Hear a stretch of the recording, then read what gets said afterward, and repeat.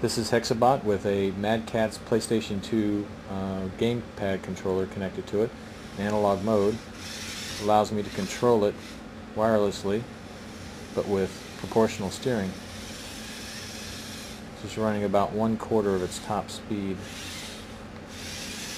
The two analog joysticks that you see are used to control the left and right motors.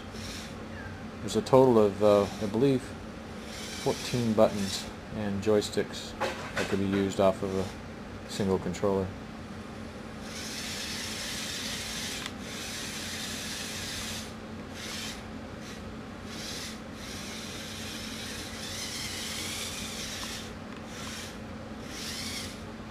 Smooth.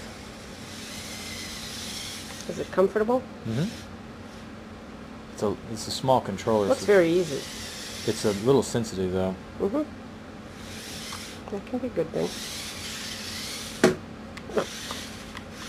That's kind of if you can get used to it.